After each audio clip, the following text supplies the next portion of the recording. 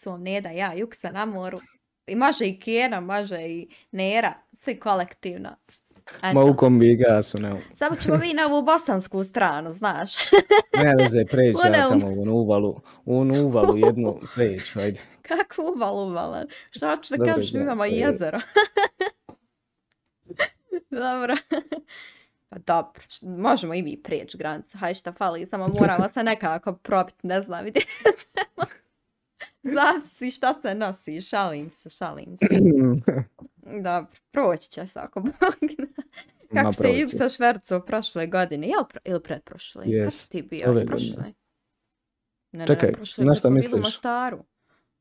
Kad, sam, kad smo u Mostar išli, na to misliš? Ja, pa ti se prošvercao, evo, VIP ovaj, jedno vrijeme bio povučen sa bosanskog tržišta, odnosno nije ga bilo u Sarajevu, a bilo ga kod njega u Metkovićima.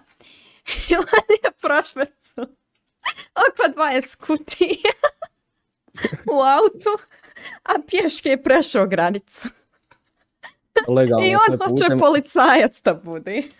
ovim putem za graničnu policiju Republike Hrvatske nije od ovoga ništa istina, tako da ne sutra specijalci kući upali. To je evo, story, taj mislim da niko ne zna za to. Niko, Niko ne apsolutno. zna. Nećemo u Eto. detalje.